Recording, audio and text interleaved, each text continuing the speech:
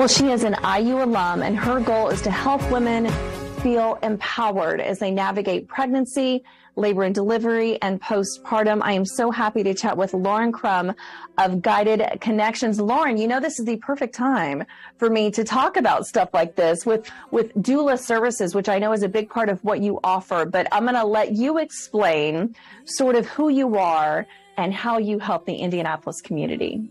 Yeah, thank you so much for having me on. Uh, so I started Guided Connections about a year and a half ago and really wanted to just bring in um, multiple different aspects when looking at pregnancy, labor and delivery, and postpartum, just so women can feel um, supported and empowered to yeah. have the deliveries that they want because it's just not happening that way right now. And a lot of people aren't talking about the hard stuff that's going they on. Don't. I yeah. told I told you earlier, and for everyone watching at home, Lauren and I were talking, and obviously this is my third little one, and I had some difficulties with the first two when it came to labor and delivery. But do you think a big part of it, because with my first one, I, I don't think I was as educated. I'm so much more knowledgeable about things now because I've been through that. But is, is that part of it? Is it a lack of education, a lack of knowledge, or even experience with a lot of women? Yes, 100%. Because uh, there just isn't, no one talks about what a doula is. So, a doula yeah. is someone who comes in and works with your provider, with your nursing staff. Um, and our goal is to really just help you navigate labor and delivery, childbirth. We're walking through different positions, different techniques to make things yeah. Easier um, and also providing emotional support and mental support.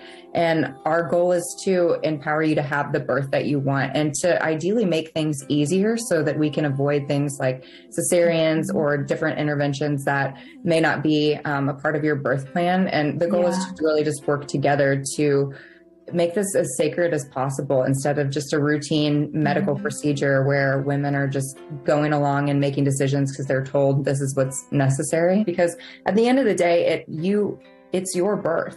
And the medical professionals do a fabulous job but sometimes there are other things that we can do prior to jumping to things like cesarean or yeah starting Pitocin, uh, just more natural methods that work. So a big thing that I've been doing with my clients has been working with them on different exercises prior to a month before we're going into deliver okay. to help get that pelvis in a good spot to make sure your ligaments aren't super yeah. tight, those muscles are relaxed. So doing that prep before is so key as well to having a smooth yeah. delivery. And, you know, we plan for our wedding, we plan for parties, we plan for all these things, but we right. just don't spend the time planning for birth. We don't. And that is one of the most sacred and intense things that we go we go through physically.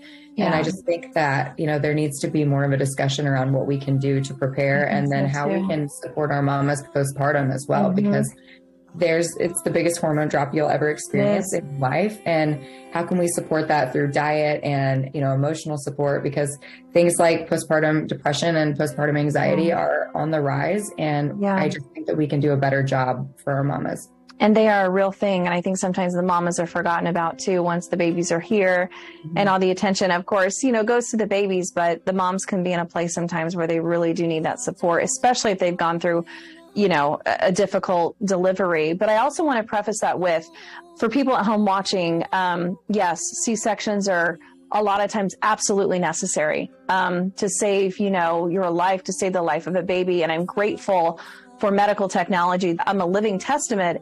I've had to have two, and I'm grateful for that. But I do think it's important as women, whether it's your first, second, or even third, just to at least consider the mm-hmm. options, see maybe what else is out there, broaden your horizons a little bit to have yeah. the best experience for yourself, perhaps?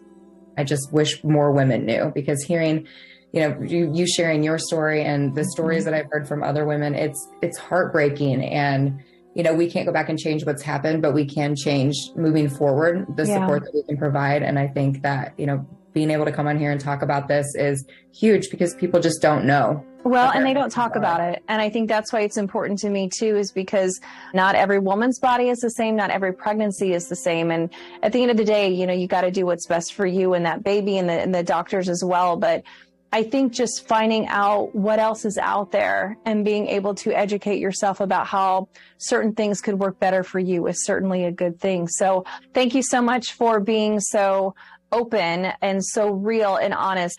That's what so many women need for sure and what they're looking for. So thank you for caring so much. We appreciate it. Thank you so much. It was great talking to you. Thank you. you too, Lauren.